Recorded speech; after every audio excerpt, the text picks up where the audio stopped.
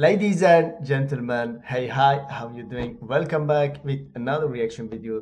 Thank you so much for the love and support. You guys just being amazing and thank you again. So you guys commented down below and I went and I checked Putri Ariani. So here we are with another Putri Ariani. She get golden buzzer.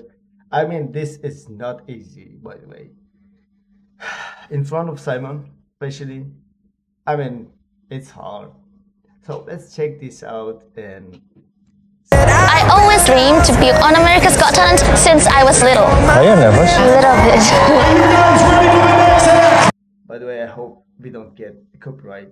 I mean that's hard. Are these your parents? yes! And what are you gonna do on AGT? I'm going to be singing and playing a piano. Oh, you're gonna be singing. Yeah. My biggest challenge is people look at me just as a blind person, not as a musician. But when I'm singing, I feel like a superstar. Are you ready? yes, I'm ready. Just be yourself. Yeah. Sofia Vergara. I love her. She's so nice person.